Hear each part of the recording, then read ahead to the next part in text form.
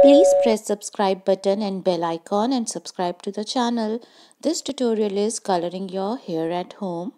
So this is the before look and this is the after look after applying the hair color. So let's start. So to start uh, for hair coloring at home you will require hair color as per your choice and uh, here I have taken this L'Oreal casting hair color and this is without ammonia and I use this 300 number shade that is darkest brown. I have to I am taking here a glass bowl, a comb and a hair coloring brush. So let's open the packet and see the contents. So you can see that here we have a conditioner inside the box and a packet of gloves and there is the cream colorant. So this is the developer in which we have to mix the mixture, the cream given that is this chemical bump which we basically apply on the hair. So let's prepare the mixture now and uh, there is an instruction leaflet also.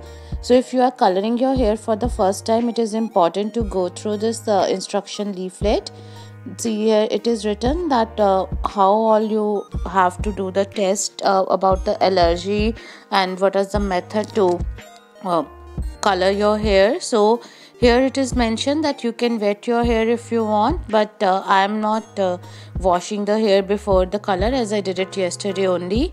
And here there is a skin allergy test and it is very important to do the allergy test 48 hours before you start coloring your hair.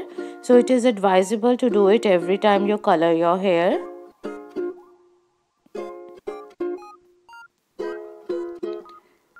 so this is how they have told to apply but i will tell you how to apply simply like henna uh, you apply on the hair with a mehendi brush. So i will be telling you the simple way to apply this. And this is mentioned about the skin allergy test. So do not forget to take the skin allergy test prior to using the hair color.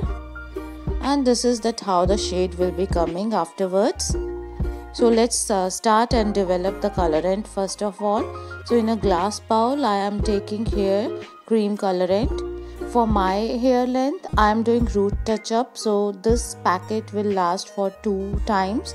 So i will be using the half and i will be keeping aside the half for the use uh, next time. So i have taken this uh, cream colorant here the developer. And now i am uh, putting this colorant cream in this in the developer. So the ratio to be followed is 1 is to 1.5 so for the one portion of this cream colorant i have to take 1.5 developer. So developer always need to be more in proportion than the cream colorant. So this is how we are supposed to open this pack.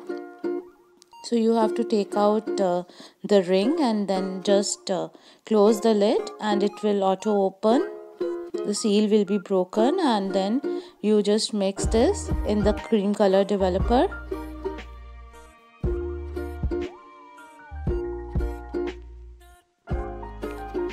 So here I have mixed uh, to 1.5 uh, portion of developer uh, one part of uh, the cream colorant and now mix well with the help of a brush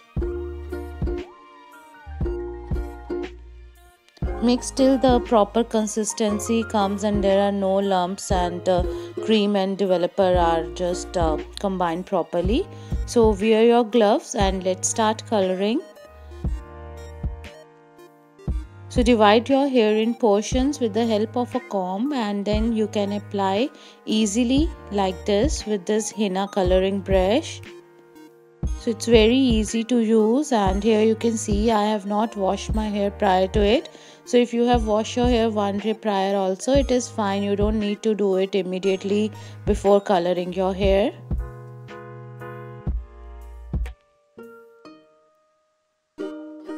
So one by one uh, apply properly on all the partitions.